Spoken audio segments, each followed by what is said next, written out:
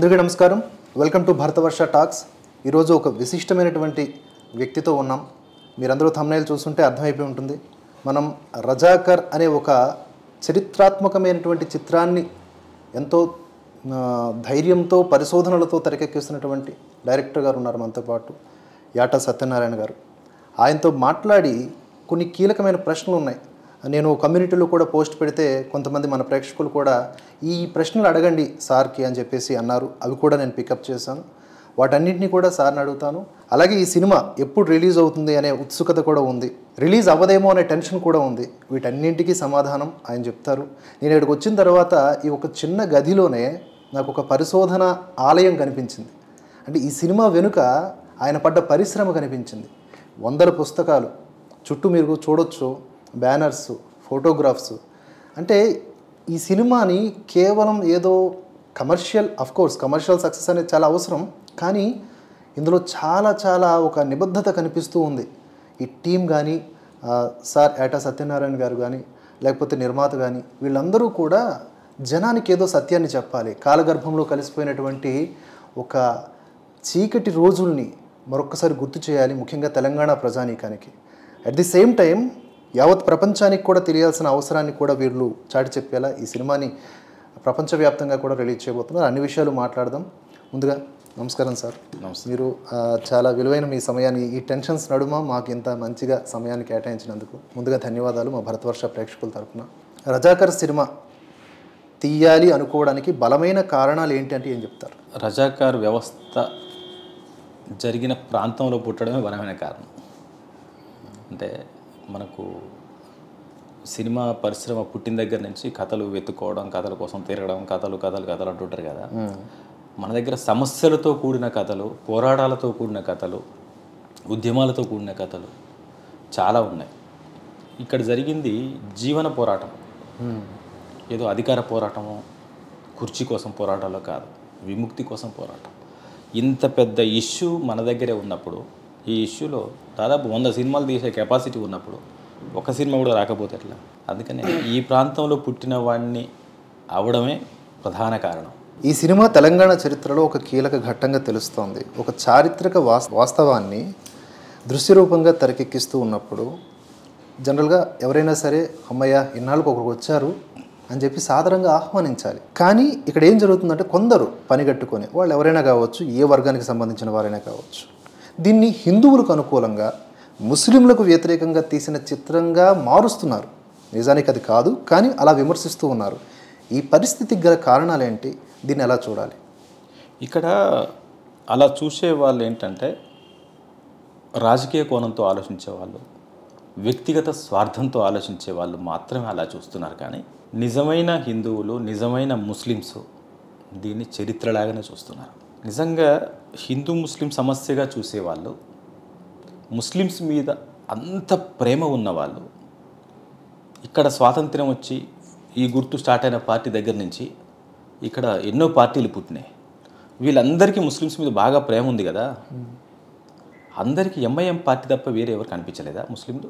ఓట్లు వచ్చేటప్పుడు తప్ప ఓట్లు కావాల్సినప్పుడు తప్ప వీళ్ళు ముస్లిమ్స్కి చేసింది ఏంటి? కరెక్ట్.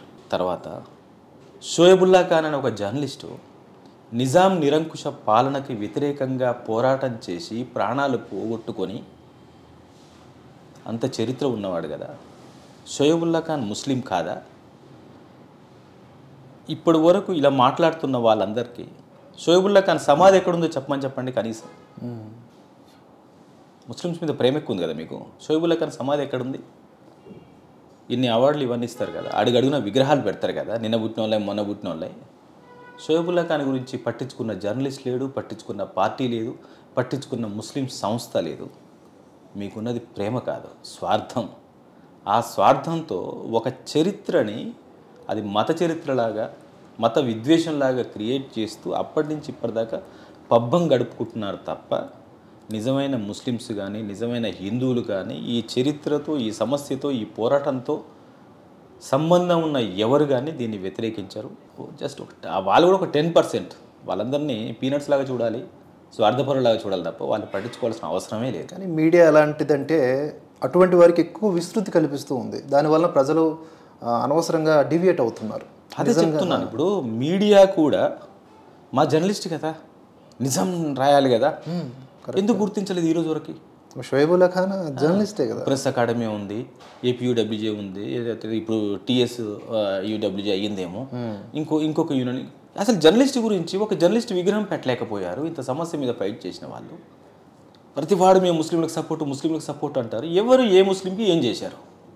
కరెక్ట్ ముస్లింలకు సపోర్ట్ కాదు.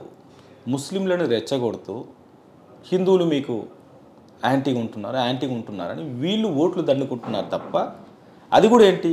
డబ్బున్న ముస్లింసే కనిపిస్తారు వీళ్ళకి పేరున్న ముస్లింసే కనిపిస్తారు వీళ్ళకి హోదా ఉన్న ముస్లింసే కనిపిస్తారు వీళ్ళకి. అవును మళ్ళీ.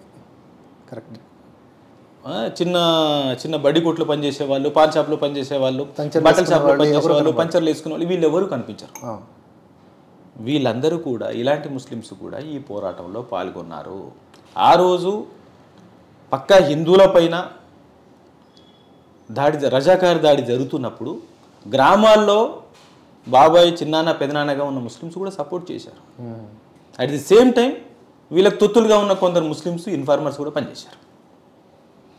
సో ఇది రజాకార్ నిరంకుశత్వంతో నిజాం నిరంకుశత్వంతో రజాకారు అజమాయిషితో చలామణి అయిన దాని మీద పోరాటం తప్ప హిందూ ముస్లిం పోరాటం కాదు ఇది. ఈ రజాకార్ వ్యవస్థ అనేది. సో కాబట్టి ఏంటంటే వీళ్ళు చరిత్రని పక్కదారి పట్టిస్తూ ఇప్పుడున్న జనాల్ని పక్కదారి పట్టిస్తూ సినిమాని రాంగ్ సినిమాగా చూపించే ప్రాపగండా చేస్తున్న వాళ్ళు వీళ్ళు అసలు.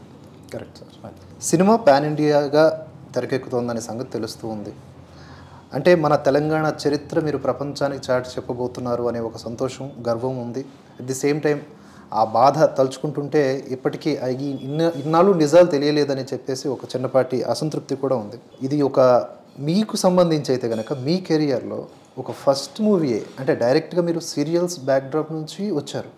ఫస్ట్ మూవీనే ఒక periodic మూవీగా at the same time pan India seven లాంగ్వేజెస్లో తీస్తున్నారు. కాంట్రవర్సీ అంటే కాంట్రవర్సీగా మార్చారు. ఇది మన చరిత్ర గర్వంగా చెప్పుకోవాలి బట్ కాంట్రవర్సీ కూడా. అట్ ది సేమ్ టైం భారీ బడ్జెట్. వితౌట్ ఏ హీరో ఇందులో కథనే హీరో. ఇన్నింటి నడుమ ఇంతటి ధైర్యం మీకు ఎలా వచ్చింది అని అంటే ఏం చెప్తారు? అంటే ఇక్కడ కథా వస్తువు. ఉదాహరణకు పుష్ప తీసుకుందాం. పుష్ప అనేది ఏ రేంజ్ హిట్టో మనందరికీ తెలుసు. బన్నీకి నేషనల్ అవార్డు కూడా వచ్చింది. బాలీవుడ్లో బన్నీ ఎవరు? అంతే కదా. ఎవరికీ తెలియదు తెలియదు అంత డీ గ్లామర్ క్యారెక్టరు. ఒక రాయలసీమ స్లాంగ్ మాట్లాడుతూ. పిచ్చి పిచ్చి కాదు. Bunny style star. ఎక్కడ ఏ స్టైలు కనిపించకుండా ఒక లుంగి కట్టుకొని కాలు వేసుకొని పిచ్చి పిచ్చిగా కనిపించే ఒక క్యారెక్టర్ని ఆ క్యారెక్టరైజేషన్ని ఆ కథని జనాలు రిసీవ్ చేసుకొని నిజంగా చెప్పాలంటే తెలుగు కంటే ముందు అటు హిట్ అయిన తర్వాత తర్వాత తెలుగు జనాలు ఓహో మన సినిమానా అని చూసారు మన వాళ్ళకు ఉన్న రోగమే అది. ఊరికంటే పుల్లకూర అంటారే. ఎవడో వచ్చి చెప్తే తప్ప అనదు సో అలాంటి సినిమాలే నాకు ఆదర్శం. కథా వస్తువుగా ఉన్న సినిమాలు కథా వస్తువు ఉన్న సినిమాలు హీరో ఉండకూడదు అనేది ఆడియన్స్ని తీసుకురావడం కోసం హీరో స్టార్ అనే వాళ్ళు చాలా ఉపయోగపడతారు. సినిమా ముందుకెళ్ళడం కోసం.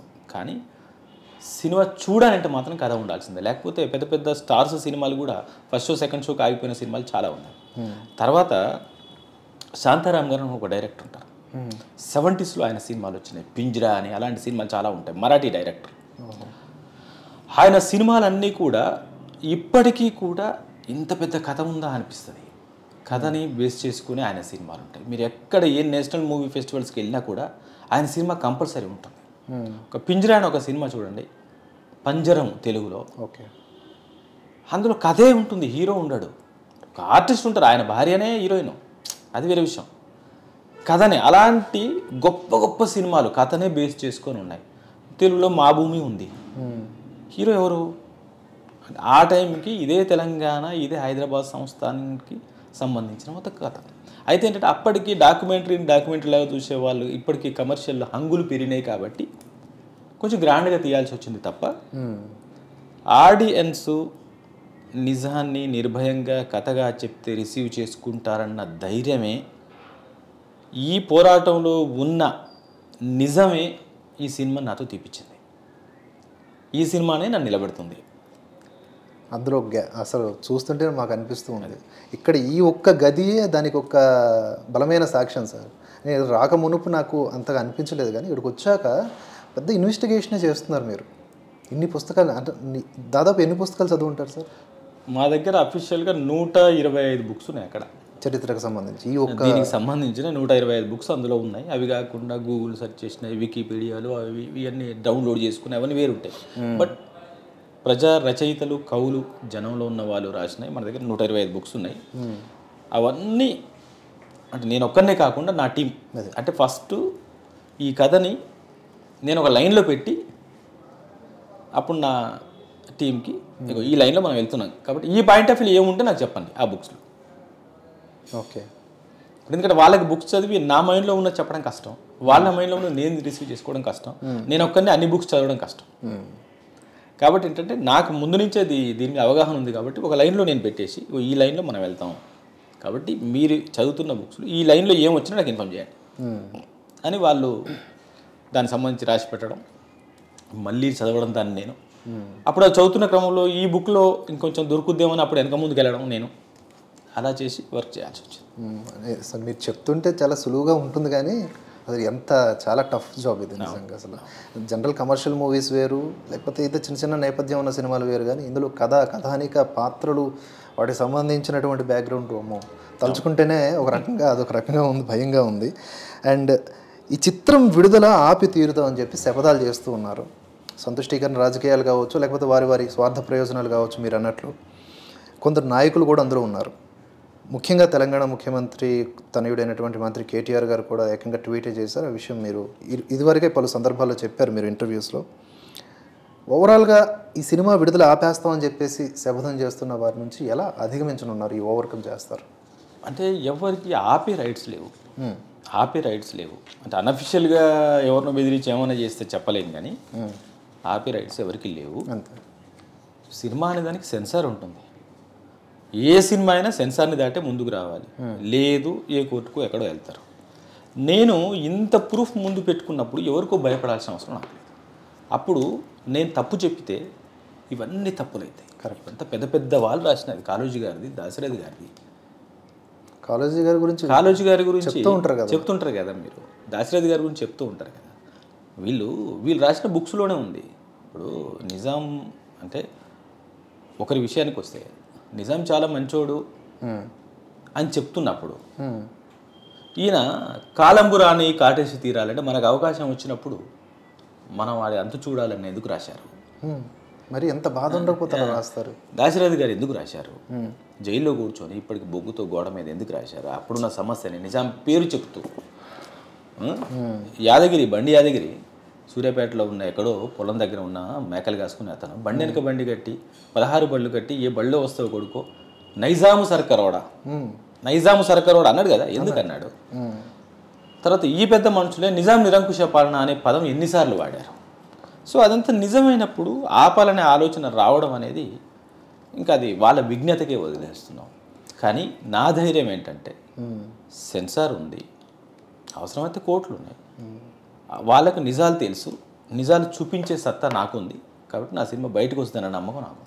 రజాకర్ అంటే మీ సినిమా ప్రొడ్యూసర్ గారే అన్నారు కదా మునావర్ ఫారూక్ ఇలాంటి వాళ్ళకి భావ ప్రకటన స్వేచ్ఛ ఉన్నప్పుడు మేము నిజాన్ని చెప్తున్నాం మాకు భావ ప్రకటన స్వేచ్ఛ ఉండదు మాకు ఉండాల్సి ఉండాల్సిన దారులు మాకున్నాయి ఖచ్చితంగా రిలీజ్ చేసి తీరుతాం అంటున్నారు అది నిజం అవ్వాలని చెప్పి చాలామంది ఆశపడుతూ ఉన్నారు. హండ్రెడ్ పర్సెంట్ నిజమైద్ది. నేను అనుకుంటున్నాను వాళ్ళు కూడా అడ్డేం పడరు.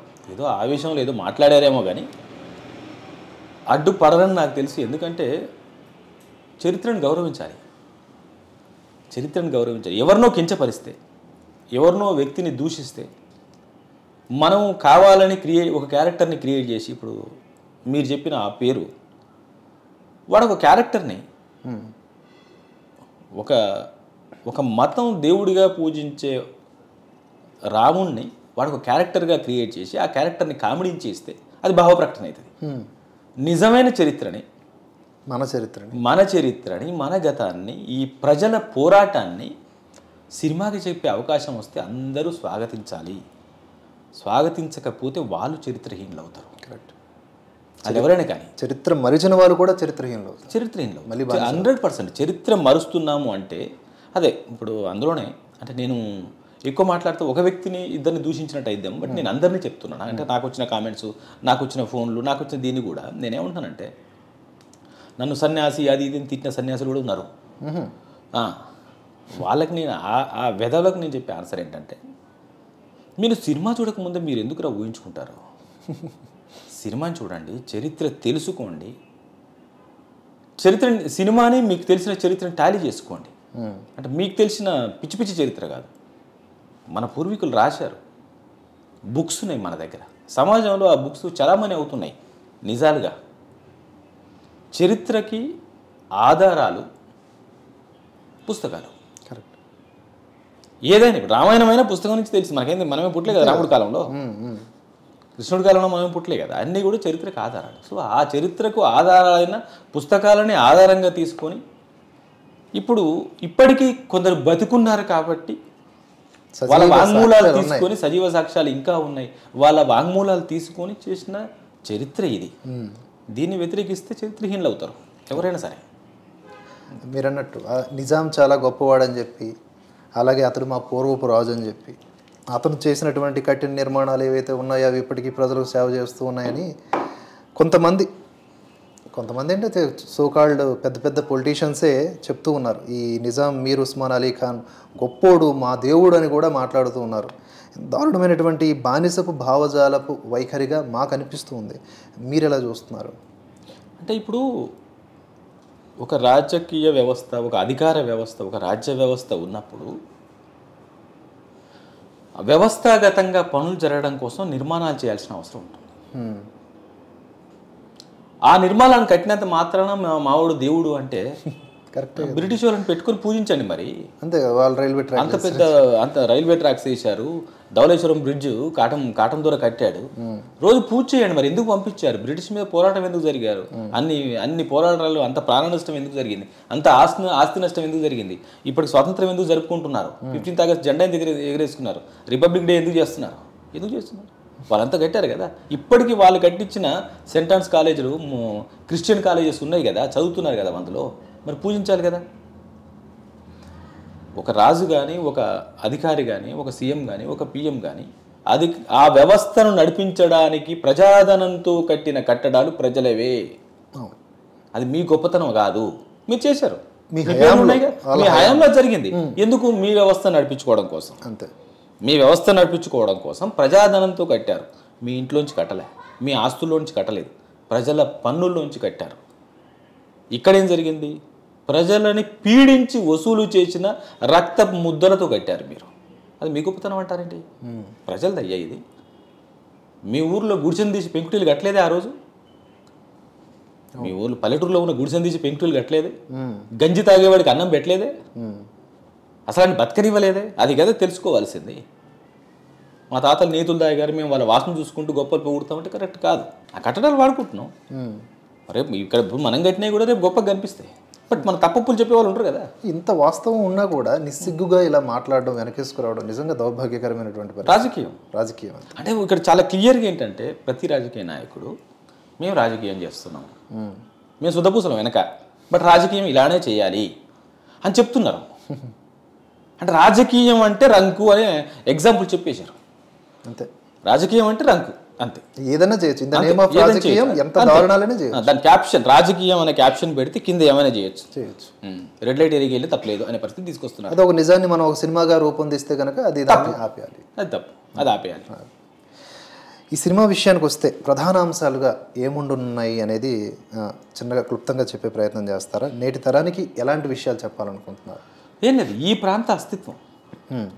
ఈ ప్రాంతం అంటే ఒక తెలంగాణ అని కాదు. మరాఠాలోని కొన్ని జిల్లాలు కర్ణాటకలోని కొన్ని జిల్లాలు తెలంగాణలోని కొన్ని జిల్లాలు మొత్తం పదహారు జిల్లాలతో కూడిన ఈ హైదరాబాద్ సంస్థానంలో. భారతదేశానికి స్వాతంత్రం వచ్చినప్పటికీ హైదరాబాద్కి స్వాతంత్ర్యం రాక స్వాతంత్రం కోసం ఈ ప్రజల విముక్తి కోసం జరిగిన పోరాటం ఏంటి? మనము మనకు తెలిసిన స్వాతంత్రాన్ని మనకు జరిగిన స్వాతంత్రాన్ని ఈ రోజుకి గుర్తించకుండా ఆగస్ట్ ఫిఫ్టీన్త్ స్వాతంత్రం అని అనాగరికుల్లాగా ఎలా బిహేవ్ చేస్తున్నాం? మన నాగరికతే మనకు తెలియని పరిస్థితిలో ఉన్నాం. మనం మేధావులం మనం ఇంత ఇంత పెద్ద కన్స్ట్రక్షన్ చేసాం హైటెక్ సిటీ హైటెక్ సిటీలో ఉన్నాం. మోడర్న్ సిటీలో ఉన్నాం కానీ మన నాగరికత మనకు తెలియని అనాగరికంలో ఉన్నాం అనేది గుర్తించాలి. మనకు నీ అస్తిత్వమే తెలియనప్పుడు నీ పూర్వీకుల విముక్తి చరిత్రనే తెలియనప్పుడు పోరాటమే తెలియనప్పుడు నీకు ఎన్ని ఉంటే ఏం లాభం? సో అది తెలుసుకోవాల్సిన అవసరం ఉంది కాబట్టి ఈజీ. మూలాలు తెలుసుకోవాలి. హండ్రెడ్ పర్సెంట్ మూలాలు తెలుసుకోవాలి పోరాటాలు తెలుసుకోవాలి విముక్తి పోరాటం తెలుసుకోవాలి. ఎస్ అండ్ మెయిన్లీ ఒక ఒక సినిమా ఎంత నిజమైన చరిత్ర కలిగింది అయినప్పటికీ కూడా మెయిన్లీ ప్రేక్షకులను ఆకట్టుకోవాలంటే మాత్రం కొన్ని కసరత్తులు చేయాల్సిందే స్క్రిప్ట్ మీద. అలా జాగ్రత్త పడకపోతే హిట్ కావడం కష్టం. ఎందుకంటే కశ్మీర్ ఫైల్స్ నిజాలు చెప్పారు హిట్ అయింది. అండ్ అట్ ద వ్యాక్సిన్ వారు ఏదైతే తీశారో అది కాస్త ప్రేక్షకుల ఆదరణ నోచుకోలేకపోయింది. స్క్రిప్ట్ మీద పట్టు అంటే సినీ విమర్శ కోణంలో చూసుకుంటే కనుక ఇటువంటి సినిమాలు కమర్షియల్గా కూడా సక్సెస్ అయితే కనుక పెద్ద పెద్ద ప్రొడ్యూసర్స్ ఇంకా ఇలాంటి నిజాల్ని తీసే అవకాశం ఉంది భవిష్యత్తులో. కాబట్టి మీరు ప్రేక్షకులకి ఇచ్చే గ్యారంటీ ఏంటి సార్? అంటే రజాకర్ సినిమా పక్కాగా ఆకట్టుకుంటుంది నార్మల్ ప్రేక్షకుడికైనా సరే అనేదానికి. అయితే ఇక్కడ ఏంటంటే ఎప్పుడైనా సినిమా అనేది నేను నేర్చుకున్నది నేను నా గురువు దగ్గర నేర్చుకున్నది సినిమా అనేది మేధావి వర్గానికి సంబంధించింది కాదు. సినిమా గురించి నాలుగు మాటలు మాట్లాడేవాడు గొప్పగా అరే అలా ఉంటే బాగుండు ఇలా ఉంటే బాగుండు అనేవాడు రిపీట్ ఆడియన్స్ కాదు. రిక్షా తొక్కుతూ కాయకష్టం చేసుకున్నవాడే సినిమాకు రిపీట్ ఆడియన్స్. అందుకనే మా గురువు గారు రాఘవేంద్రరావు గారు వంద సినిమాలు సక్సెస్ అవ్వడానికి రీజన్ ఏంటంటే రిక్షా పుల్లరే నా ఆడియన్స్ నా దేవుడు అని ఆయన ఫిక్స్ అయ్యారు కాబట్టి. సో ఇక్కడ నా సినిమా విషయానికి వస్తే అలాంటి కష్టజీవుల సినిమానే. ఇక్కడ కమర్షియల్ సినిమా అంటే మీనింగ్ ఏంటంటే రిపీట్ ఆడియన్స్ వచ్చేది. సో ఇది పబ్లిక్ సినిమా. ప్రజల కష్టం. ఇప్పుడు వ్యాక్సిన్ వారు వచ్చింది. అది కొంచెం మేధావితనంగా ఆలోచించాల్సి వస్తుంది. అలాంటి మీద మేధావులు సినిమా చూడరు. మల్టీప్లెక్స్కి రిపీట్ ఆడియన్స్ రారు. మల్టీప్లెక్స్ ప్లెక్స్కి ఎప్పుడు వస్తారంటే ఏదో చూద్దాం రా అనేటోటి వస్తారు లేదు మధ్యలో కాలు తీసుకొని బయటికి వెళ్ళే వాళ్ళు వస్తారు. ఇది మల్టీప్లెక్స్ సినిమా కాదు. మల్టీప్లెక్స్లో కూడా కామన్ ఆడియన్స్ చూడొచ్చు కానీ మల్టీప్లెక్స్ సినిమా కాదు ఇది. సో ఇది నేను నేను నమ్మే నిజం ఇది. తర్వాత కమర్షియాలిటీ అంటే మేకింగ్ లెవెల్స్ అనేది మెయిన్. మేకింగ్ లెవెల్స్ నేను డాక్యుమెంటరీగా తీయలేదు. ఇప్పుడు నిజాన్ని నిర్భయంగా చెప్పినప్పుడు నిజాన్ని చెప్పేటప్పుడు చాలా వరకు ఏంటంటే సినిమా చాలా న్యాచురల్గా ఉండాలి అనే పదం వాడతారు. సినిమా ఏంటి? న్యాచురల్ ఏంటి? సినిమా కదా మళ్ళీ న్యాచురల్ ఏంటి? అంటే నేను ఎవరిని వ్యతిరేకించట్లేదు. సినిమానే కదా. మళ్ళీ న్యాచురల్ ఏంటి? జీవితం కాదు. జీవితమే న్యాచురల్ లేదు. ఎవరి జీవితం న్యాచురల్ లేదు సినిమా అంటే కల్పన అంతే. సో ఇక్కడ అయితే ఏంటంటే ఇది నిజమైన చరిత్ర. ఈ కథలో మనం ప్రాక్టికల్గా ఆలోచిస్తే ఒక పెద్ద హీరో సినిమా తీసుకున్నప్పుడు ఏముంటాయి? కొన్ని ఎమోషన్స్ ఉంటాయి. కొన్ని డైనమిజాలు ఉంటాయి. కొన్ని బిల్డప్లు ఉంటాయి. ఈ కథలోనే అవి ఉన్నాయి. నేను కొత్త క్రియేట్ చేయాల్సిన అవసరం లేదు. కొన్ని వందల సీన్స్ ఉన్నాయి. కొన్ని వందల సీన్స్ ఉన్నాయి.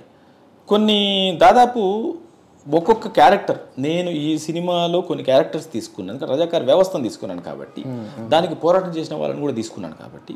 కానీ నిజంగా అయితే ఇప్పుడు సైరా నరసింహారెడ్డి లాగా ఒక్కొక్కరు ఒక హీరో క్యారెక్టర్ చేయొచ్చు.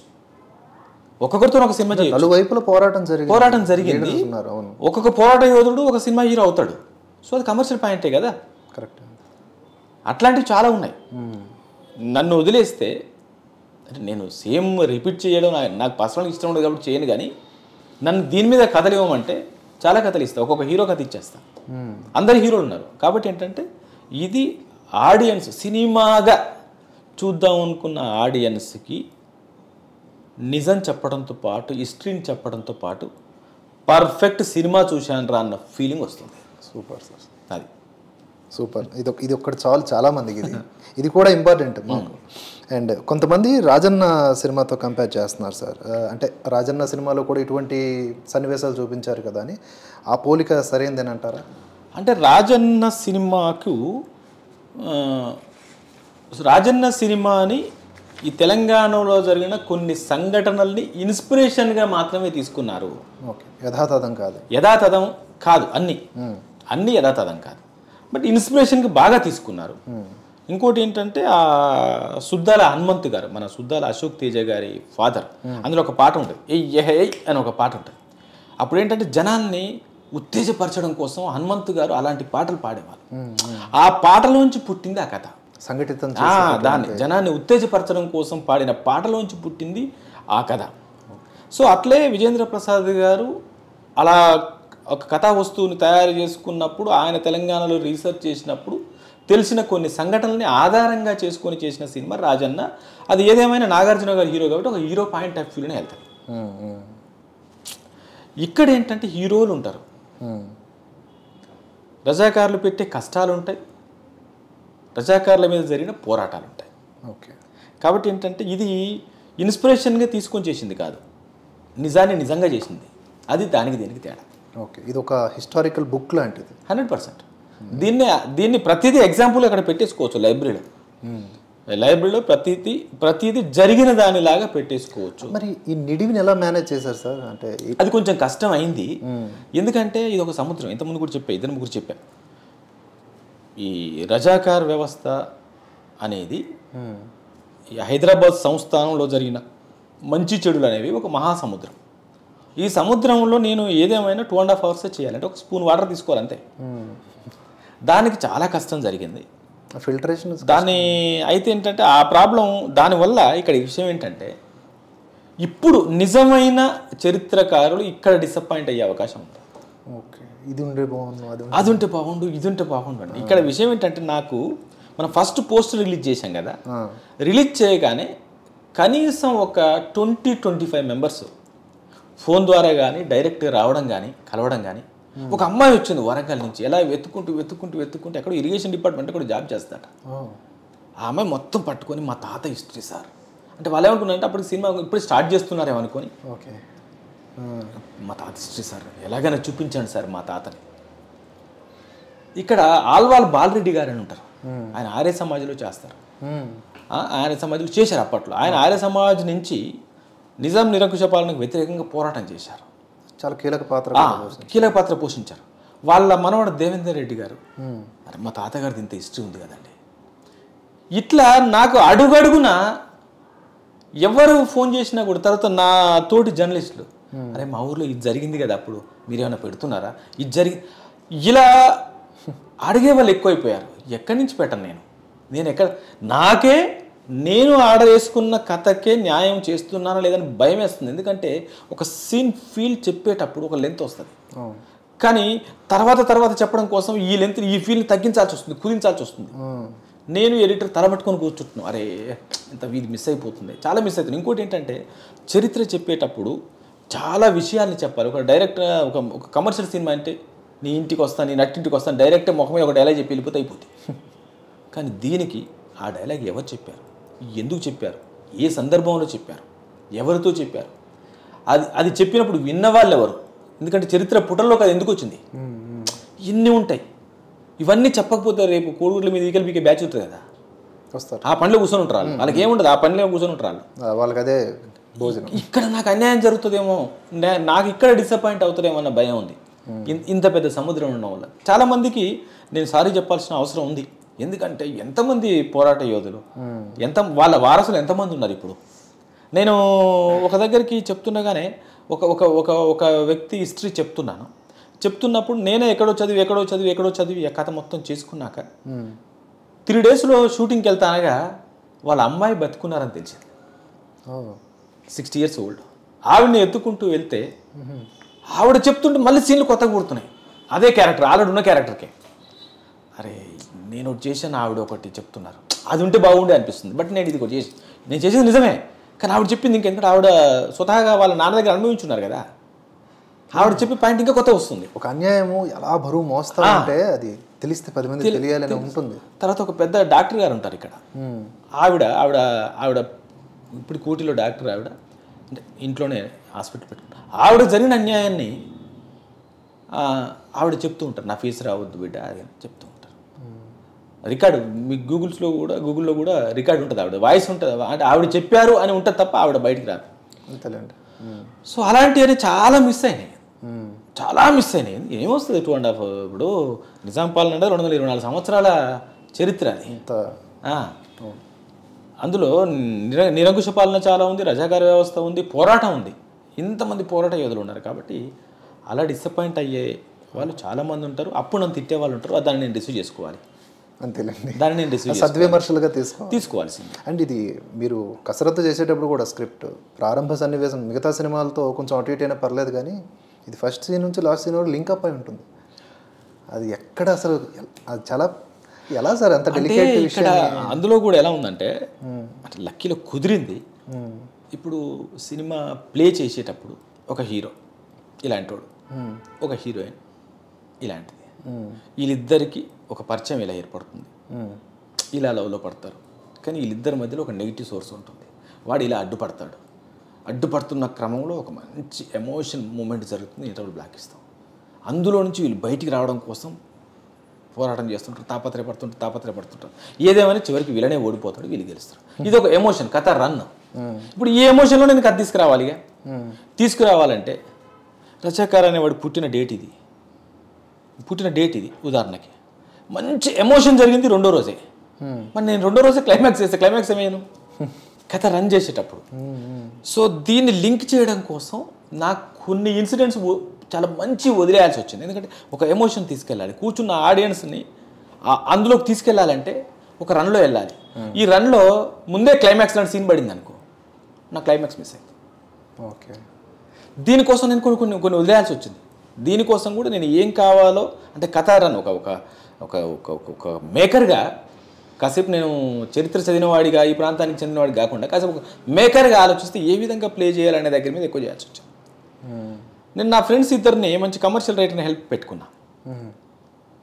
వాళ్ళు కరెక్ట్ ప్లే చేయలేకపోయారు. ఎందుకంటే వాళ్ళు సినిమా లాగానే చూస్తారు దాన్ని. సో అప్పుడు నేనేం చేశాను? అలా కాదు. వాళ్ళు చెరకు వరుస వేసుకొస్తే ఎక్కడో వెళ్ళిపోతుంది అది. అలా కాదు. మీరు చాలా మేధావులు బట్ ఇది జరగట్లేదు పక్క కూర్చోబెట్టి నేను ఒక ఆర్డర్ వేసి ఇప్పుడు దీని మీద మాత్రం వర్క్ చేయండి. ఆలోచిద్దాం. ఎందుకంటే అటు వెళ్ళిపోతుంది. అని అలా చేసుకోవాల్సి వచ్చింది. అయితే ఏంటంటే ఆల్రెడీ ఒక అవగాహన ఉండడం వల్ల దాని మీద నాకు ఈజీగా అయిపోయింది నిజంగా చెప్పాలంటే. ఓకే. అంటే అందరూ ఎక్స్పెక్ట్ చేస్తున్నంత కష్టం అవ్వలే. దీని మీద దాదాపు ఒక పది సినిమాలు తయారైనాయి. పది స్క్రిప్ట్లు తయారవ్వడానికి రెడీగా కూర్చొని ఉన్నారు. మా అసోసియేషన్లోనే రిజిస్టర్ చేస్తాం. మాకు రైటర్స్ అసోసియేషన్లో కథ ఆరు రిజిస్టర్ అయి ఉన్నాయి అక్కడ రిజిస్టర్ అయి ఉన్నాయి ఆరు ఉన్నాయి. అలా కాకుండా బయట ఒక పెద్ద పెద్ద సంస్థలు వంద కోట్లు రెండు వందల కోట్లు పెట్టగలిగిన సంస్థలు కూడా ఈ కథ మీద కూర్చొని ఎటు ముందుకు వెళ్ళక రీసెర్చ్ల దగ్గరనే ఆగి ఉన్నారు సరే ఆలోపు కొంత చేస్తూ ఉన్న టైంలో మనది వచ్చి కొంచెం ఆగి ఉన్నారు ఇట్లా కూడా జరిగింది చాలామందికి. నేను ఒక్కనే కొంచెం టక్కున ముందుకు దూకగలిగా. ఒక ఒక రిస్క్ లాంటిదే ఇది కూడా. Hundred percent risk. అండ్ ఇంకో కామెంట్స్ కూడా వస్తున్నాయి సార్. రజాకర్లు అనేవాళ్ళు ఇప్పుడు లేరు కదా వాళ్ళు ఎప్పుడో వెళ్ళిపోయారు. సో ఈ దేశంలో వారు అసలు లేనే లేరు. అలాంటప్పుడు ఇప్పుడు ఎందుకు వారి కథతో కూడుకున్నటువంటి సినిమాని తీసుకొస్తున్నారు అనేది పాయింట్. ఇప్పుడు ఆల్రెడీ మీరు చెప్పారు దీనికి ఆన్సర్ ఇంతకుముందే కొన్ని ప్రశ్నల్లో భాగంగా బ్రిటిష్ వాళ్ళకి సంబంధించి అంటే ఈ ప్రశ్నకు కూడా మీరు సమాధానం ఇచ్చేస్తే అంటే రజాకార్ నిజానికి రజాకారే విషయానికి వస్తే వాడు ఎందుకు పుట్టుకొచ్చాడు? ఒక అధికార దాహంతో ఉన్నవాడిని ఆసరాగా చేసుకొని రజాకార వ్యవస్థ పుట్టుకొచ్చింది. వాడికి ఉన్న అధికార దాహాన్ని మనం తీర్చగలం అనేది వాడికి కల్పిస్తే వీడు ఏమైనా చేసుకోవచ్చు? ఓకే. వీడు సంఘం మీద సమాజం మీద జనం మీద పడవచ్చు. అలా పడే ప్రతివాడు ఈ రోజుకి రజాకారే. కరెక్ట్. Super sir. కొత్తగా ఎక్కడి నుంచో రారు. ఉన్నారు. వీడికి ఇంకో పేరు ఉంటుంది. ఇంకో రూపాంతరం ఇంకో రూపం ఇంకొక రూపం ఉంటుంది. వాని మనం గుర్తించాలి. రజాకార్ అంటే స్వయం సేవకుడు. ఎవడికి సేవకుడు? వాడికి వాడు సేవకుడు. స్వయం స్వీయ సేవకుడు. స్వీయ సేవకుడు స్వయం సేవకుడు కాదు. స్వీయ సేవకుడు. సో అలాంటి వాళ్ళు పేరు మార్చుకొని ఉన్నారు. లేకపోతే తీవ్రవాద వ్యవస్థ ఎక్కడి నుంచి వస్తుంది? రాజకీయాల్లో ఎవడి గుంపులు అడిగి ఎందుకు ఉంటున్నాయి? బాజాప్త స్క్రీన్ మీద సిగ్గు లేకుండా జనం మధ్యలో కొట్టుకుంటున్నారు వాళ్ళు. అది చాలదు. మీరు ఇలాంటి వ్యవస్థను తయారు చేస్తారు అనడానికి. ఏముంది తేడా వాళ్ళకి? ఏముంది? తేడా ఏముంది? ఒకప్పుడు మనం చెప్తున్నాం కదా మహాత్మా గాంధీ నెహ్రూ సర్దార్ వల్లభాయ్ పటేలు. అంత డిగ్నిటీ ఎక్కడుంది ఇప్పుడు. మీరు ఎందుకు తయారు చేయరు? మీకు కావాల్సింది అధికార దాహం కదా. సో కాబట్టి ఏంటంటే రజాకార్ అనే వాళ్ళు ఎక్కడి నుంచి పుట్టుకురారు. ఇప్పటికీ పుట్టుకొస్తారు ఇప్పటికీ ఉన్నారు. మన విద్యాసాగర్ గారు చెప్పారు కదా ఇప్పుడు తయారవుతూనే ఉన్నారు అని. వాళ్ళు వాళ్ళు నిత్యం ప్రొడక్టివిటీ రెడీ అవుతుంది. రెడీ అవుతుంది. కాబట్టి కాబట్టి ప్రజలు ఎప్పటికప్పుడు ఫైటింగ్ స్పిరిట్ ఉండాలి. ఉండాలి కాబట్టి ఈ సినిమా చూడాలి. ఫైటింగ్ స్పిరిట్ ఉండాలి అంటే ఇలాంటి చరిత్ర మర్చిపోకూడదు. మర్చిపోవు ముఖ్యంగా మూలాలు మర్చిపోవు ప్రజెంట్ జనరేషన్ అండ్ మీరు రాజమౌళి గారు కొలీగ్స్ అని కూడా విన్నాం. సో అంటే ఒకే స్కూల్ స్టూడెంట్స్ లాగా. సో ఇప్పుడు నేను ఈ ట్రైలర్ చూసినప్పుడు ఐఎమ్ నాట్ ఏ అంత మెచ్యూర్డ్ అంటే ఈ విషయాల్లో కాదు సినిమాలకు సంబంధించి. బట్ నాకు అనిపించింది సార్ అంటే రాజమౌళి గారి మేకింగ్ నేను పోలిక చేయట్లేదు జస్ట్ చెప్తున్నానంటే. సారూప్యమైనటువంటి అంశాలు కొన్ని కనిపిస్తూ ఉన్నాయి నాకు. ఆ కంపాషన్ కూడా అంటే ప్రతి ఫ్రేమ్లో తీసుకునేటటువంటి శ్రద్ధ ఉంటుంది కదా సార్. అంటే మీకు జక్కనకు ఎటువంటి అనుబంధం ఉంది? ఆయన ఈ సినిమాకి సంబంధించి ఆయన మీతో మాట్లాడారా? ఇన్పుట్స్ ఏమైనా ఇచ్చారా? లేదు. ఇన్పుట్స్ ఇవ్వలేదు. మామూలు రెగ్యులర్ సినిమా అయితే ఇన్పుట్స్ అడిగేవాన్నేమో. ఈ విషయానికి వస్తే ఓకే. నాకు చాలు. ఇంకా అతనికి దీనికి ఇన్పుట్స్ ఇచ్చేంత నాలెడ్జ్ ఈ సబ్జెక్ట్ మీద ఉంటుందని నేను అనుకోవట్లేదు కొన్ని కమర్షియల్ కమర్షియల్ ఇది ఉంటాయి. ఉంటాయి. బట్ నేనేం తీసుకోలేదు. అవసరం లేదు నాకు. అవసరం లేదు. సో ఇంకా మేకింగ్ పరంగా అంటారు? ఆల్రెడీ అతను ఎస్టాబ్లిష్డ్ కాబట్టి ఆటోమేటిక్గా ఆటోమేటిక్గా కంపారిజన్ వస్తుంది. అలా వస్తుందేమో. ఆ, అంతే. అనుబంధము అనే పదం వాడితే మేము కలిసి వర్క్ చేసాం ఆ రిలేషన్ అట్లే కంటిన్యూ అవ్వలేదు. మేము అప్పుడు డైరెక్టర్ దగ్గర అంటే రాఘవేంద్రరావు గారిని మేము డైరెక్టర్ గారు అంటాం. డైరెక్టర్ గారి దగ్గర ఇద్దరం ఒకే కాంపౌండ్లో ఒకే టైంలో పనిచేసాం తను శాంతినివాసం అనే సీరియల్ చేస్తున్న టైంలో నేను మనోయజ్ఞం చేస్తుండేవాడిని సీరియల్ నుంచి తను స్టూడియో నెంబర్ వన్ అవుతున్నప్పుడు నా మనోయజ్ఞం కంటిన్యూ అవుతూ ఉండేది. ఆ తర్వాత మళ్ళీ ఇద్దరం ఆర్కాలో చేస్తున్న ఆర్కా మీడియా పుట్టిన తర్వాత అప్పటికి ఆర్కా మీడియా లేదు. తర్వాత ఆర్కా మీడియా వచ్చిన తర్వాత ఆర్కా మీడియాలో నేను చంద్రముఖి చేస్తున్నప్పుడు తను మర్యాద రావణ చేస్తున్నారు. ఆ మర్యాద రావణ ప్రమోషన్ చంద్రముఖిలో నేను ప్రమోషన్ షూట్ చేశాను తర్వాత తను ఈగా చేసినప్పుడు ఈగా ప్రమోషన్లో భాగంగా తనని యాక్ట్ చేయించా సీరియల్లో. యాక్ట్ చేశారు వన్ డే. అట్లా అంటే ప్రొఫెషనల్గా కలవడమే తప్ప పర్సనల్ బాండింగ్ ఏమీ లేదు.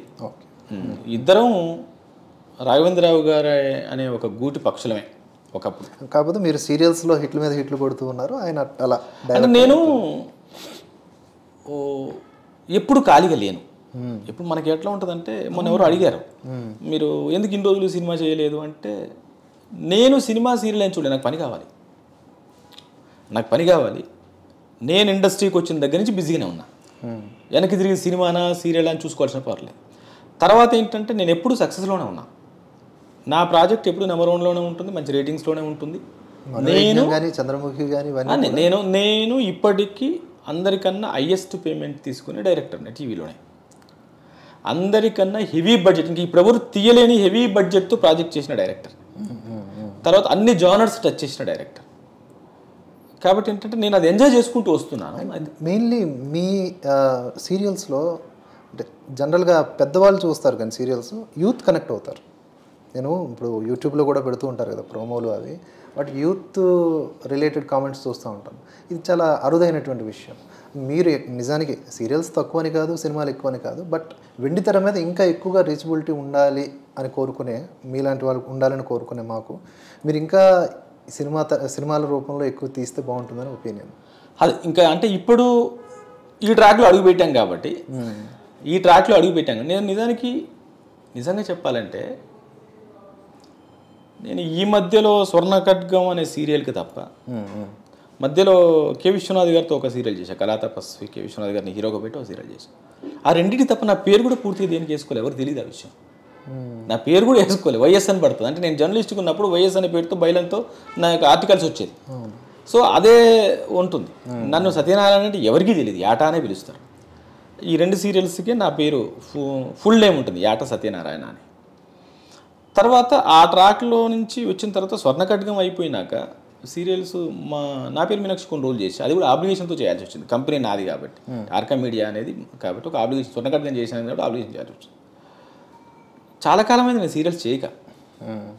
ఇది నాకు తెలిసి ఇది ఒక ఎన్ని ఎన్ని సంవత్సరాల పరిశ్రమ సార్ ఇది టూ ఇయర్స్ టూ ఇయర్స్ ఇది two years two years twenty four by seven ఇంకా ఈ ట్రాక్లోకి వచ్చాను కాబట్టి ఇందులో ఇందులోనే ఉంటాను. అయితే నాకు ప్రొడక్షన్ హౌస్ ఉంది. నా ఓన్ ప్రొడక్షన్ హౌస్ ఉంది. నా ప్రొడక్షన్ హౌస్లో సీరియల్స్ ఈటీవీకి నేను చేస్తాను ఎక్కువ.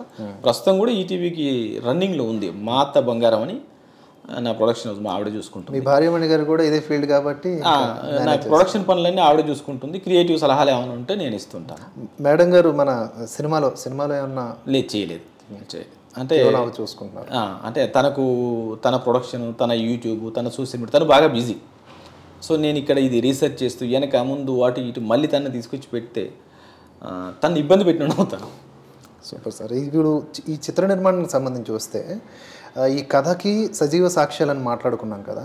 బైరన్పల్లి కానీ కొన్ని గ్రామాలు ఇతర గ్రామాలు ఉన్నాయి. ఆ గ్రామాలకు వెళ్ళారా సార్ మీరు? అక్కడ వాళ్ళతో మాట్లాడినప్పుడు వాళ్ళు ఎలా భావన వ్యక్తం చేస్తారు అంటే నేను జర్నలిస్ట్గా ఉన్నప్పుడే ఇవన్నీ వెళ్ళున్నాను. జర్నలిస్ట్గా ఉన్నప్పుడే వీళ్ళందరితో మాట్లాడున్నాను. నాకు అంటే ఇప్పుడు అప్పుడు జర్నలిస్ట్గా ఉన్నప్పుడు చాలా మందితో మాట్లాడిన వాళ్ళు ఇప్పుడు చనిపోయారు. ఓకే. ఇప్పుడు దాదాపుగా ఎండింగ్కి వచ్చింది ఆ శకం. వాళ్ళు ఎండింగ్కి వచ్చారు. ఈ కురు వృద్ధులైపోయి ఆ, అయిపోయారు. వాళ్ళకి కొన్ని గుర్తుండట్లేవు. అడు అడు గడ్డం అమీన్ గాడు అడు వచ్చిండు ఇట్లా అని చెప్పి పాపం మర్చిపోతున్నారు. ఈ మధ్య వైరల్ అవుతున్నాయి కొన్ని వీడియోలు. అది ఇప్పుడు మధ్యలో మన సినిమా వచ్చిన తర్వాత అవన్నీ బయటకు వస్తున్నాయి. అంటే కొన్ని ఏం చేసినాయి అంటే సెప్టెంబర్ సెవెంటీన్త్ వచ్చిన రాగానే న్యూస్ ఛానల్స్ ఈ ప్రోగ్రామ్ స్టార్ట్ చేయడం వల్ల కొన్ని ఉండిపోయినాయి అప్పటి కొన్ని. నేను ఇప్పుడు వెళ్ళినప్పుడు నేను ఈ మధ్యలో కూడా మన సినిమా దాదాపు పూర్తయినాక కూడా మళ్ళీ ఒకసారి గుండ్రంపల్లికి వెళ్తే వాళ్ళందరూ లేరు. అందరు చనిపోయి ఉన్నారు.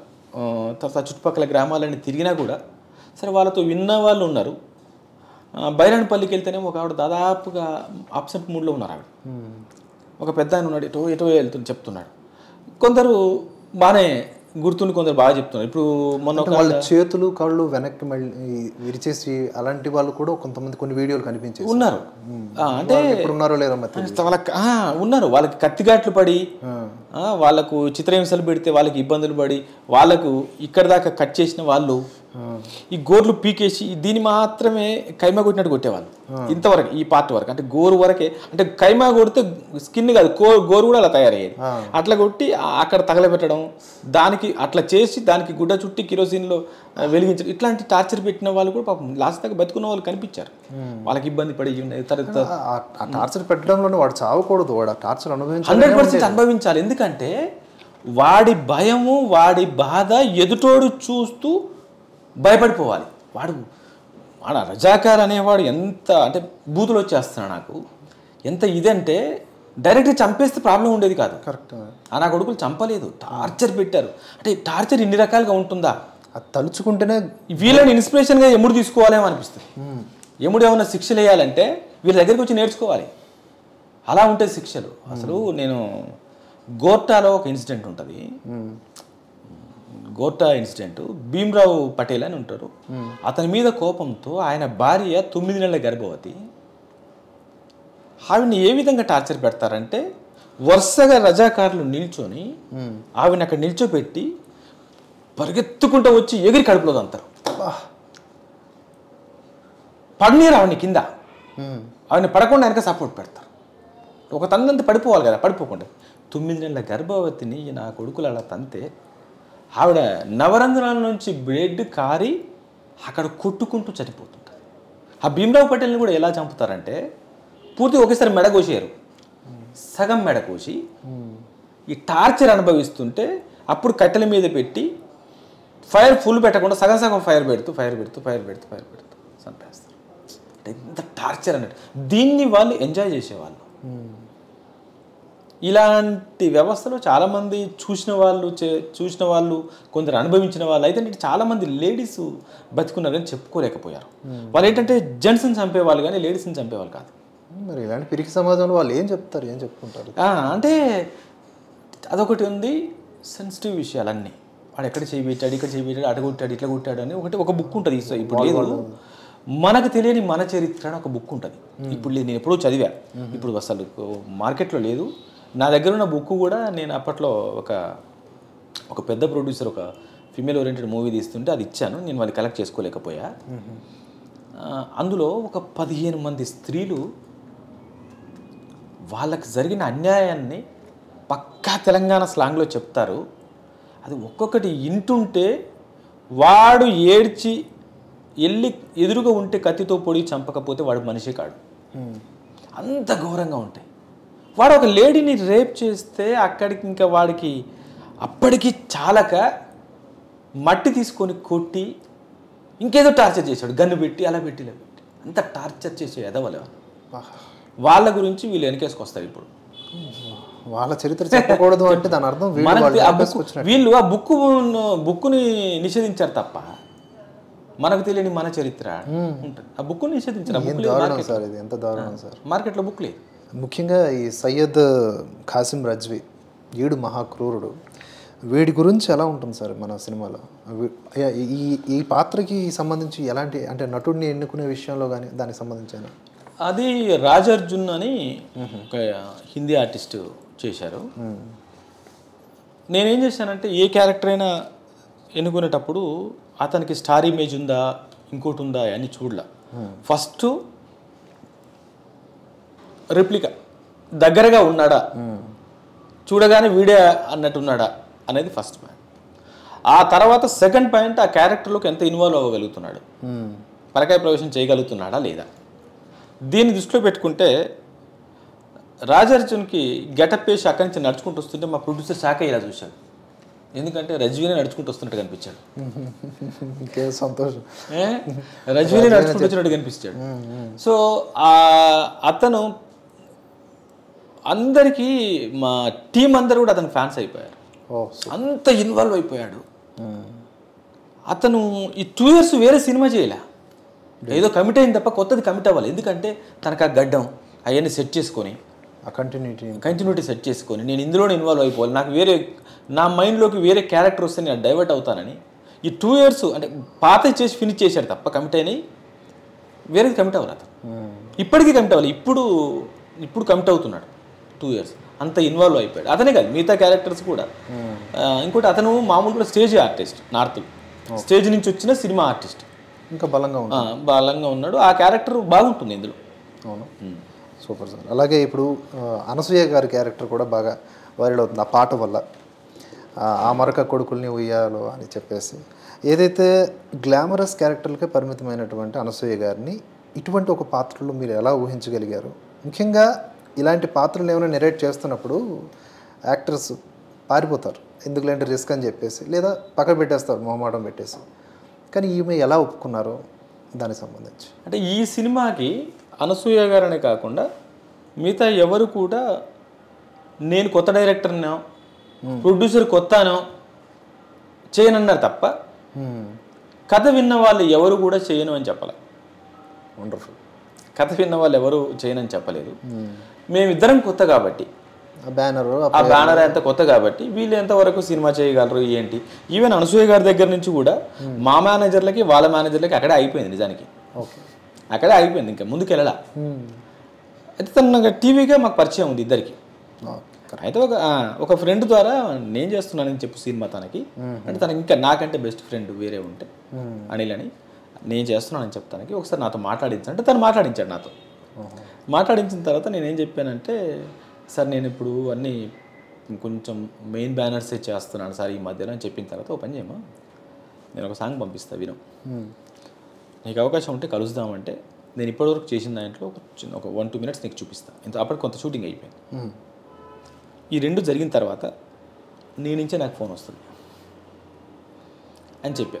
మరి ఆ టైంలో ఆవిడ పొగరుగా ఫీల్ అయ్యారు ఇడికి ఇంత పొగరు వచ్చింది ఫస్ట్ సినిమాకి అనుకున్నారు ఏమన్నా తెలీదు. బట్ నేను పంపించా. మధ్యలో నా ఫ్రెండ్ నిజానికి ఎవరికి పంపించలేదు మధ్యలో నా ఫ్రెండ్ ఉన్నాడు కాబట్టి పంపించా. అన్నట్టుగానే ఫోన్ వచ్చింది అక్కడి నుంచి. వచ్చి సాయంత్రం ఒక హాఫ్ అన్ అవర్ కలవచ్చా సార్? అంటే కలుద్దాం అని చెప్పేసి వాళ్ళ మేనేజర్ ఆఫీస్లోనే కలిస్తే హాఫ్ అన్ అవర్ అనుకున్నది టూ అండ్ హాఫ్ అవర్స్ కూర్చున్నాను నాతో. టూ అండ్ హాఫ్ అవర్స్ అలా జరిగిందా ఇలా జరిగిందా అలా ఇలానా? అయిపోయింది. ఇంకోటి ఏంటంటే ఆవిడ ఈ ప్రాంతానికి సంబంధించిన ఆవిడ కాబట్టి బయటికి వెళ్ళగానే ఆవిడ తెలుసుకోవడం ఈజీ తెలుసుకోవడం ఈజీ క్రాస్ చెక్ చేసుకోవడం ఈజీ తెలుసుకుంటే వాళ్ళ ఇంట్లోనే వాళ్ళు వీళ్ళు అవును ఇది జరిగింది ఇది వాళ్ళ ఊర్లోనే వాళ్ళ భూదాన్ పోచంపల్లి. ఇక్కడ నల్గొండ జిల్లా భూదాన్ పోచంపల్లి. సో కాబట్టి ఏంటంటే వాళ్ళ చుట్టుపక్కల వాళ్ళ ఇంట్లోనే జరిగినవి చాలా ఉన్నాయి. సో ఆవిడ ఏమైపోయిందంటే అందులోకి ఇన్వాల్వ్ అయిపోయారు. నాకే జరిగింది మాకే జరిగింది ఈ సమస్య అనే పరిస్థితికి వెళ్ళిపోయారు. సో గ్రేట్ ఆవిడ ఒప్పుకోవడం కూడా గ్రేట్ ఒప్పించే విధానం ఇంకా ఒప్పుకొని ఇంకా ఇన్వాల్వ్ అయిపోయారు ఆవిడ. నేను చెప్పాను ఒక హాఫ్ అన్ అవర్ అనుకున్నా ఆవిడ టూ అండ్ హాఫ్ అవర్స్ కూర్చొని. ఇంకా టూ అండ్ హాఫ్ అవర్స్ కూడా లేట్ అయిపోతుంది. ఆవిడ వాళ్ళ హస్బెండ్ నేను ఈ టైంకి ఏదో బయటికి వెళ్దాం ప్రోగ్రామ్ పెట్టలేదు. ఇంకా కూర్చొని ఇంకా అది ఇది ఏంటి అట్లా అక్కడ అని క్వశ్చన్ ఎక్కువనే తయారైంది. జరుగుతుంటే వస్తుంటాయి కదా క్వశ్చన్స్ వస్తుంటాయి కదా. అయితే ఏంటంటే ఇంకా ఎప్పుడైతే కమిట్ అయ్యిందో ఆవిడ ఇన్వాల్వ్మెంట్ అంతే. ఒక ఫైవ్ నైట్స్ ఏమో చేసాం అది సాంగ్ ఆ సాంగ్ అంత ఇన్వాల్వ్ అయిపోయి ఎక్కడ తగ్గకుండా. నిజంగా చెప్పాలంటే లాస్ట్ డే యాక్చువల్ ట్వెల్వ్కి అయిపోవాలి టూకి అయిపోవాలి. తెల్లవారింది దాదాపుగా లేదు సార్ చేద్దాం. ఫినిష్ ఆ రోజు ఫినిష్ చేయాలి. మిగతా వాళ్ళ డేట్స్ అది ఇబ్బంది ఉంది. ఆ లొకేషన్ అట్లే చేసుకుంటుంది. మళ్ళీ మా జస్ట్ అక్కడ అక్కడి నుంచి వచ్చేసి ఇంటికి వెళ్ళి ఫ్రెష్ అయ్యి మళ్ళీ వేరే షూటింగ్కి వెళ్ళాలి ఆవిడ. అయినా చేశారు ఆవిడ. Super support. మనం ముఖ్యంగా మాట్లాడుకోవాల్సిన వ్యక్తి గూడూరు నారాయణ రెడ్డి గారు మన ప్రొడ్యూసర్. సో ఆయన చూస్తున్నాం. అంటే ఆయనకు దేశం పట్ల కానీ చాలామంది ఆయన భాజపా పొలిటీషియన్గా చూస్తున్నారు కానీ నాకు అనిపిస్తుంది ఏంటంటే ఆయనలో ఒక దేశభక్తుడు ఉన్నాడు ఒక బాధ్యతాయుతమైనటువంటి వ్యక్తి ఉన్నాడు అని అనిపించింది. ఆయన కమాండ్ ఆయన మాట్లాడుతున్నప్పుడు కొన్ని మీడియా అడుగుతున్న ప్రశ్నలకి సమాధానం ఇస్తున్నప్పుడు చాలా ఆసక్తికరంగా అనిపించింది ఆ సార్. ఆయనకి మీకు ఎలాగ సార్ ఈ రిలేషన్ ఎలా? మా ఇద్దరికి దాదాపు ఒక సెవెన్ ఎయిట్ ఇయర్స్ రిలేషన్ ఉంది గతంలో నుంచి. ఓకే. ఈ కథ ఈ సినిమా ఆయన ఏదో ఇప్పుడు ఒక పార్టీకి లీడర్గా ఉన్నాడు కాబట్టి చేశాడు అనే మాట ఏదైతే ఉందో అది అవాస్తవం ఆయన ఎప్పటి నుంచో మేము పార్క్ రైతులు ఊరికనే సరదాగా కూర్చొని మాట్లాడుకుంటుండే వాళ్ళం ఎప్పటి నుంచో ఒక మంచి సినిమా ఒకటి చేస్తాం. మన కాంబినేషన్లో ఒకటి చేద్దాం. ఒక మంచి ఇట్లా ఇలాంటివి ఉండేది. ఒకటే నేను నేను సినిమా ఫీల్డ్లో ఉండను నాకు పెద్ద ఇంట్రెస్ట్ ఏం లేదు బట్ ఒక్కటి మన కాంబినేషన్లో చేద్దాం. ఆయన ఒక మాట అన్నాడు సార్. నేను సేవకుడిని నేనేమి వ్యాపారస్తుని కాదనే మాట. అది ఎవరు సాధారణంగా అలా అనలేరు. నిజంగా చెప్పాలంటే ఆయనకు ఆయన Film Nagar club vice president. అంటే club Film Nagar club vice president ex vice president అంటే ఫిల్మ్ రిలేషన్స్ మొత్తం ఉంటాయిగా. ఆయన చేయాలంటే ఓ పెద్ద హీరోయిన్ ఒక పెద్ద డైరెక్టర్ను పెట్టుకొని పెద్ద సినిమా చేసి కమర్షియల్ ప్రొడ్యూసర్గా నిలబడిపోవచ్చు. లేదు మనం అనుకుంటున్న ఇంతకుముందే కాశ్మీర్ ఫైల్స్ లాగానో అట్లాంటి డైరెక్టర్లను ఎన్నో పెట్టుకోను చేసుకొని కమర్షియల్ కూడా నిలబడిపోవచ్చు ఆయన. ఇక్కడ హీరో తెలీదు హీరో లేరు. నేను ఏం చేస్తానో తెలియదు రిలేషన్ ఉండొచ్చు. ఎంత మంచి రిలేషన్ ఉండదు అన్నదమ్ముల రిలేషన్ ఉండొచ్చు. నేను ఏం చేస్తానో తెలియదు తర్వాత ఇంత బడ్జెట్ పెడితే ఎలా అమ్ముడుపోద్దో తెలీదు. ఎందుకంటే ట్రైలర్ వచ్చిన దాకా ఎవరికి ఆ భూమి తెలియదు కదా ఎలా ఉంది ఆ బస్ ఎవరికి తెలియదు కదా. అయినా నమ్మి చేశారంటే ఆయన కూడా ఈ ప్రాంతంలో పుట్టి ఈ సమస్యలు వింటూ పెరిగి కసితో ఉన్నవాడు. ఏదో చేయాలి మనం అని ఆలోచనతో ఉన్నవాడు కాబట్టి ఇది జరిగింది. And more over me team మెంబర్స్లో కూడా ఒకరిద్దరు నాకు మాట్లాడుతున్నప్పుడు వాళ్ళలో కూడా అవే భావావేశాలు. అంటే ప్రతి ఒక్కరు మనసు పెట్టి చేసినట్టే. Hundred percent. అంటే ఇక్కడికి వచ్చినాక ఏమైపోయిందండి అంటే తెలిసిన వాళ్ళు తెలియని వాళ్ళు అందరూ ఇన్వాల్వ్ అయిపోయారు. ఎందుకంటే సబ్జెక్టు సబ్జెక్టులోకి వెళ్ళినప్పుడు మీకేం తెలీదు ఒక జర్నలిస్టే నన్ను క్వశ్చన్ చేయడానికి వచ్చారు. నేను ఒక నాలుగైదు పాయింట్ చెప్పగానే ఇంత ఉందా? ఇది ఒక బుక్ సార్ ఒక ఈ బుక్ చదువుదామని ఆలోచన వస్తుంది. దాని గురించి విందామని ఆలోచన వస్తుంది. అలా వచ్చినప్పుడు అన్యాయం ఎక్కడైతే జరిగిందో స్పందించుకున్న మనుషులో ఉంటుంది. తర్వాత ఇలాంటి ఇన్సిడెంట్స్ ఉన్నప్పుడు తెలుసుకోవాలి తెలుసుకోవాలంటారు అలా నా టీం మొత్తం కూడా స్టడీ చేశారు. అందరూ స్టడీ చేశారు. అందరూ స్టడీ ఏమైపోయిందంటే మాది ఒక గ్రూప్ ఉంటుంది. వాళ్ళు స్టడీ చేసింది ఆ గ్రూప్లో పడేస్తారు. వాళ్ళు తెలుసుకున్నది ఆ గ్రూప్లో పడేస్తారు. అలా ఇన్వాల్వ్ అయిపోయి పనిచేశారు కాబట్టి అందరూ పర్ఫెక్ట్గా దీనికి ముందు తెలియకపోయినా తర్వాత వాళ్ళు కూడా తెలుసుకున్నారు. So good to know this sir and చాలా మాట్లాడాం. ఇంకా చా ఒక ఫాస్ట్ టాక్ లాగా చిన్న చిన్న ప్రశ్నలు అనుకుందాం. అండ్ ఈ ఇంటర్వ్యూలో ఇప్పుడు ఈ మధ్య భాగం అయిపోయాయి కాబట్టి. ఓకే. సినిమా రిలీజ్ డేట్ అంటే ఏమైనా అనౌన్స్ చేయగలరా? నిజంగా చెప్పాలంటే డేట్ ఇంకా ఫిక్స్ చేయలేదు. ఎందుకంటే పర్ఫెక్ట్ నా కాపీ చేతిలో పట్టుకున్నాక నా సీజీ టీం అంతా ఓకే సార్ మనం ఇప్పుడు అనౌన్స్ చేయొచ్చు. మాకు అన్నప్పుడు అనౌన్స్ చేద్దామని. అనౌన్స్ చేసామంటే పక్క వచ్చేస్తుంది అంతే. వచ్చేస్తుంది. అట్లా రావాలి. సో ఇటు జరగదు. మోర్ ఓవర్ వచ్చేయచ్చు. బిఫోర్ ఎలక్షన్స్ ఆఫ్టర్ ఎలక్షన్స్ అనే డౌట్ కూడా ఉంది. అంటే ఇది కూడా ఇది నేను చాలా స్ట్రాంగ్గా చెప్పాల్సింది ఆడియన్స్ కానీ మాట్లాడే వాళ్ళకి. నాది ఎలక్షన్ పాంప్లెంట్ కాదు. కాదు కానీ కంపేర్ దాన్ని నాది ఎలక్షన్ ఒక ప్రాంత హిస్టరీ ఈ టైం ఒక పెద్ద సమస్య. దీన్ని ఎలక్షన్కి అంటగడతారేంటి? ఈ టైంకి మీ సినిమా అయింది. సినిమా వస్తుంది అది. మేము రెండు సంవత్సరాల నుంచి చేస్తున్నాం? ఇప్పటికి స్ట్రాంగ్ మేము చెప్పలే. మేము జస్ట్ ఒక పోస్టర్ రిలీజ్ చేసి ఒక టీజర్ రిలీజ్ చేసాం ఇంకా చాలా ఉన్నాయి రిలీజ్ చేయాల్సినవి. సో కాబట్టి ఏంటంటే మాకు కరెక్ట్గా ఆడియన్స్ వచ్చే ప్లేస్కి స్లాట్ కావాలి వచ్చే టైం కావాలి. ఆ టైంకి మా చేతిలో సినిమా ఉండాలి. అది ఎలక్షన్ ముందు రావచ్చు తర్వాత రావచ్చు. అంతే. దీనికి మాది ఎలక్షన్ పాంప్లెంట్ కాదు. అండర్లైన్ అది మాది ఒక హిస్టరీ నిజమైన సినిమా. కాబట్టి సినిమా సినిమా లాగానే వస్తుంది కానీ కొందరు మూర్ఖులు అదే పనిగా చెప్తూ ఉన్నారు. సరే వాళ్ళు మనం ఇగ్నోర్ చేసి ఒక రకమైన ప్రమోషన్ కావాలి. ఇది బాగుంది అనుకొని వచ్చేస్తున్నారు. కలుగులోంచి వస్తారు కదా ఒక్కొక్క బయటకు వస్తాయి ఎలకలన్నీ వస్తుంటారు మీ తదుపరి ప్రాజెక్ట్స్ ఏమన్నా? లేదు. ఈ సినిమా అయ్యేంత వరకు ఏది కమిట్ అవ్వదలుచుకోలేదు. ఇంకో ఆలోచన లేదు. సీరియల్స్ కొనసాగిస్తారా సార్? యాజ్ ఏ ప్రొడ్యూసర్గా కంటిన్యూ అవుతుంది ప్రొడక్షన్ హౌస్ కంటిన్యూ అవుతుంది. డైరెక్షన్ చేయదు. ఓన్లీ సినిమాకి సీరియల్కి తేడా ఒక వన్ లైన్లో చెప్తారా బడ్జెట్. అంతేనా సార్? దానికి తక్కువ బడ్జెట్ ఉంటుంది. ఇంకోటి ఏంటంటే ఎప్పటికప్పుడు టెలికాస్ట్ అవుతూనే ఉంటుంది. నెల వచ్చే టైంకి ఇరవై నాలుగు ఎపిసోడ్లు అవ్వాలి. ఇరవై నాలుగు ఎపిసోడ్లు అవ్వాలి. కాబట్టి దానికి అందించాలి. ఓకే. విత్ ఇన్ బడ్జెట్లో చేయాలి. ఇదేంటంటే ఒక క్వాలిటీగా పర్ఫెక్ట్ అంటే దీనికి బడ్జెట్ ఉంటుంది లిమిట్స్ ఉంటాయి ఉండవని కాదు. లిమిటేషన్స్ తక్కువ. అట్లా. ఒక సినిమా రూపకల్పనలో మొత్తం twenty four crafts twenty five crafts అనుకుంటా ఇందులో కఠినమైనటువంటి విభాగం ఏదంటే ఏం చెప్తారు సార్? ఎవరి వర్క్ అయినా వారు కఠినమే. అంటే ఒక డైరెక్టర్గా అదే చాలా కదా ఎవరైనా నేను చెప్తున్నాను ఉదాహరణకి ఒక లైట్ మ్యాన్ ఉన్నాడు. అతను ఒక హెచ్ఎంఐ మోయాలి. మార్నింగ్ ఏడు గంటలకు మోయడం స్టార్ట్ చేస్తే రాత్రి ఏడు గంటల దాకా మోయాలి. దాన్ని ఏమనుకుంటాం మనం? ఒక లేబర్ కష్టం అనుకుంటాం. కానీ ఆ లైట్ ఒక ఆర్టిస్ట్ మీద కెమెరామెన్ చెప్ పెట్టమన్నప్పుడు వాడికి ఎంతవరకు బోన్స్ చేయాలి? ఎంతవరకు టాప్ అడ్జస్ట్ చేయాలి? పైకి ఎంత తిప్పాలి? కిందికి ఎంత తిప్పాలి? దానికి ఎంత రెస్ట్ వాడికి బ్రెయిన్ ఉంటుంది. సో అది లేబర్ వర్క్ అనుకుంటే పొరపాటు. ప్రొడక్షన్ కుర్రాడు. మనకంటే కనీసం ఒక రెండు మూడు గంటల ముందు లొకేషన్లో ఉండాలి. మన తర్వాత రెండు మూడు గంటల తర్వాత వెళ్ళాలి. మనమే అబ్బా డే అండ్ నైట్ షూటింగ్ అబ్బా అంటాం. మరి ఆడ పరిస్థితి ఏంటి? అక్కడ అన్ని కడగాలి తుడవాలి పెట్టాలి. మన అమ్మ కూడా అంత "ఏ, పెట్టుకొని తినిపోరా అంటారు కోపం వస్తే. రెండు రోజులు పెట్టిన తర్వాత మూడో రోజు. మరి అటు చేయాలి కదా. ఇట్లా అందరి వర్క్ ఇక్కడ సినిమా ఫీల్డ్లో అందరూ ప్రేమతో పనిచేస్తారు ఎమోషన్తో పనిచేస్తారు ఫీల్తో పనిచేస్తారు కాబట్టి ఏంటంటే అందరి వరకు కష్టంతో మిళితమై ఇష్టంగా చేసే work. Okay sir okay sir. నేను ఇప్పుడు పురాణ ఇతిహాసాలకు సంబంధించి చెప్తాను. మనం వాటి మీద మీరు వన్ లైన్లో ఏమైనా చెప్తారు? రామాయణం. రామాయణం అంటే ఈ మధ్యలో ఎక్కడో పెద్ద వెంకయ్యనాయుడు గారు రాముడు కూడా మనిషియే జీవించి ఉన్నాడు. అతనికి భార్య పిల్లలు ఫ్రెండ్స్ తల్లి తల్లి ఇట్లా అందరూ ఉన్నారు అని చెప్పగానే మీరు ఒక మాట ఒక మాటలో చెప్పన్నారు కానీ నేను ఎక్కడ కామెంట్స్ చూసి చెప్తున్నా.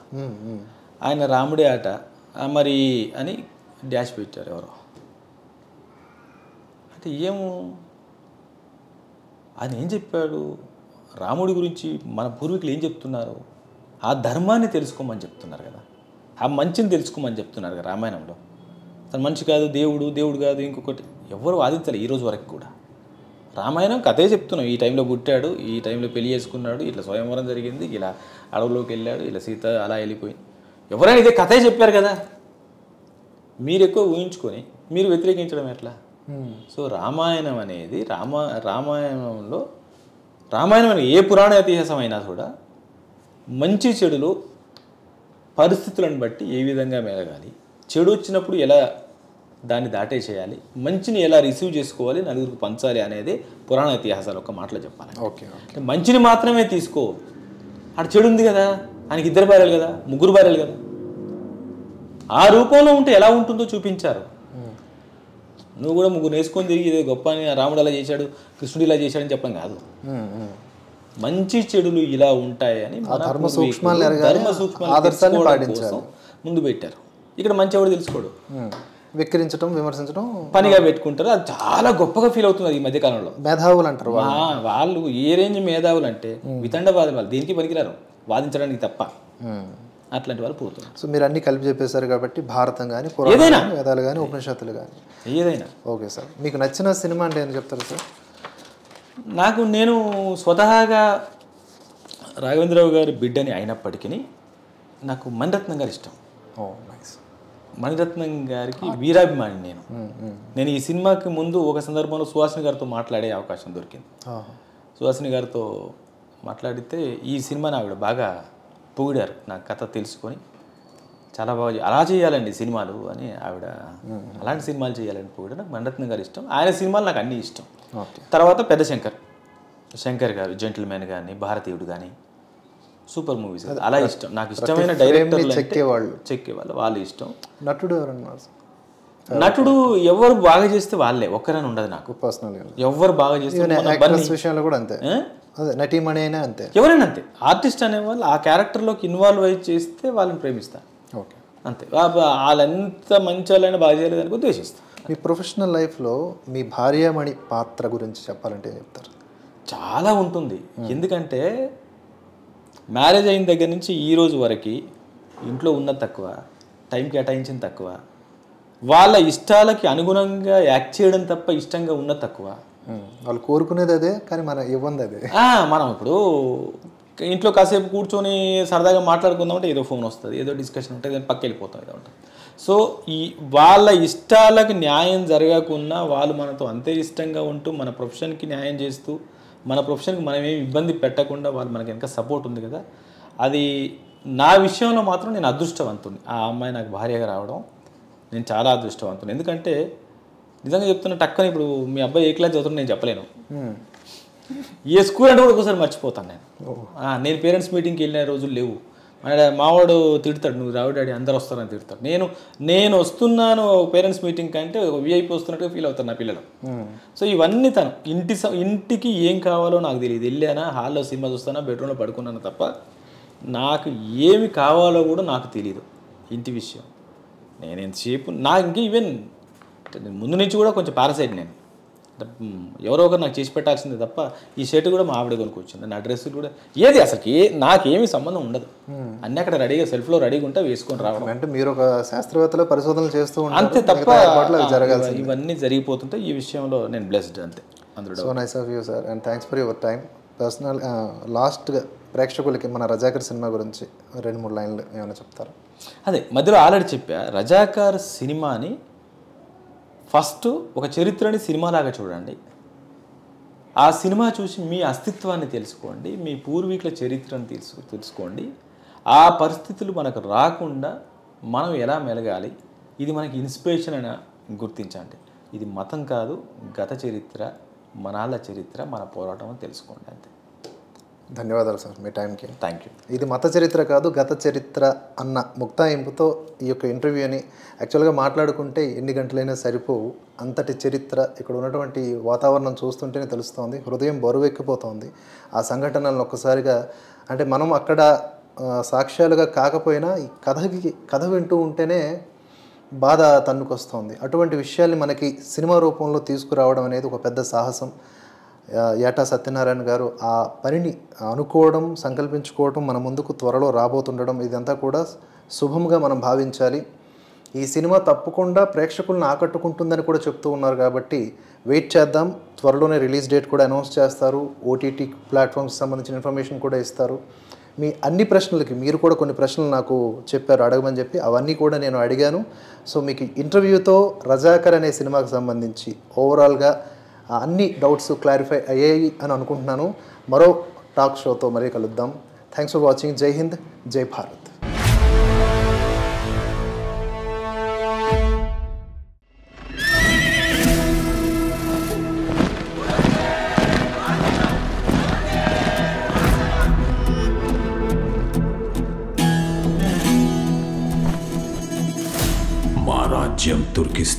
స్వతంత్ర ఇస్లామిక్ రాజ్యంగా వర్ధిల్లుతుంది ఆ హిందుస్థాన్ దగ్గర ఏమీ లేదు. వాళ్ళు వాళ్ళ సమస్యల నుండి బయటపడే లోపు మనం మన హైదరాబాద్ని తుర్కిస్తాన్గా మార్చవచ్చు ఇస్లాంని వ్యాప్తి చేయండి. ప్రతి వాడల మస్జిదుల్ని కట్టించండి. ప్రతి ఇంటి పైన ఇస్లాం జెండా ఎగరాలి. వాళ్ళ యజ్ఞోపవితాలు తెగిపోవాలి. హిందీ సంస్కృతం కన్నడ తెలుగు మరాఠీ భాషలను పుస్తకాన్నించి తీసి పడేయండి. అరబీ ఉర్దూ చదివించండి. మతం మారని కాఫెర్లను ఉరి తీయండి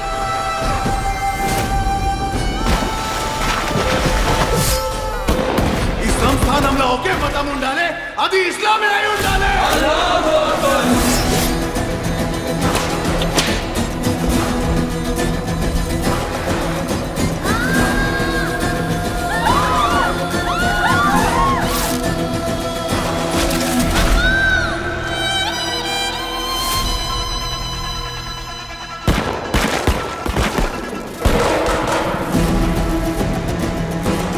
కశ్మీర్కి కాపలా ఉంటూనే హైదరాబాద్ను కూడా కాపాడుకోవాలి.